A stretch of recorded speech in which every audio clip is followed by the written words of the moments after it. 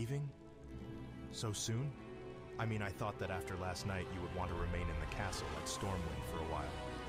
You, Nielas Aran, are one of the mightiest sorcerers in the Order of Tirisfal, and yet you remain an idiot. That says something about the rest of the Order.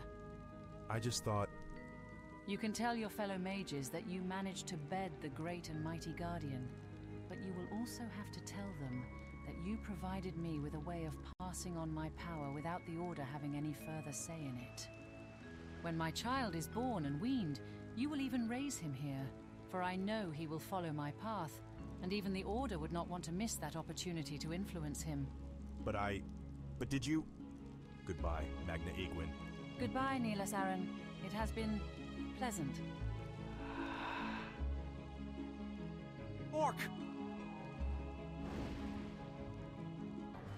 You all right, emissary? Never better. Needed a little exercise. The whelp was kind enough to oblige. Came to get you. Magus wants to see you. When you see the Magus, you're going to tell him you're snooping around? Doesn't want to see her. Wants to see you, apprentice. She's an orc. We were attacked by orcs. I had a vision of attacks of orcs. Every communication that mentions orcs speaks of their cruelty and violence. Half orc, really.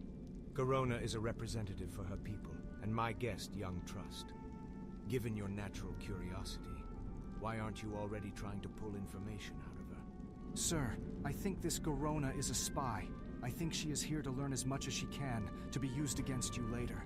That is very much the pot calling the kettle black, young mageling. Remember the list of things your own masters of the Kirin Tor wanted you to wheedle out of me? Master, there is a demon in the tower. It was a demon of the type you fought at Stormwind Keep. Something has gotten past the wards and attacked us. Again? Ridiculous. None of the wards are tripped. You are here. Cook is in the kitchen and Moroes is in the hall right now. Then you should come at once, Master. Congratulations. I think it's a bigger mess now than when you first arrived. You two see threats everywhere, like Lothar and Llane, and the Order. They have quarreled and argued among themselves, so now they don't have the power to repel a new invader. And this is little stuff. Even if the Orcs succeeded in Azeroth, they would need a Guardian, and I would be there for them. I'm so tired of worrying about everything. When can I worry about myself? Is he always like this? Up to now, I've always assumed he would be on the side of the Kingdom of Azeroth. He has to take a very long view on things. It sometimes cuts him off from others. There is something. I have never asked you about your homeland.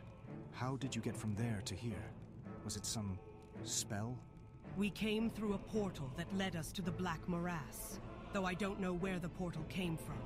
But you, Khadgar, can call up these visions. You can find out who brought the orcs through to Azeroth.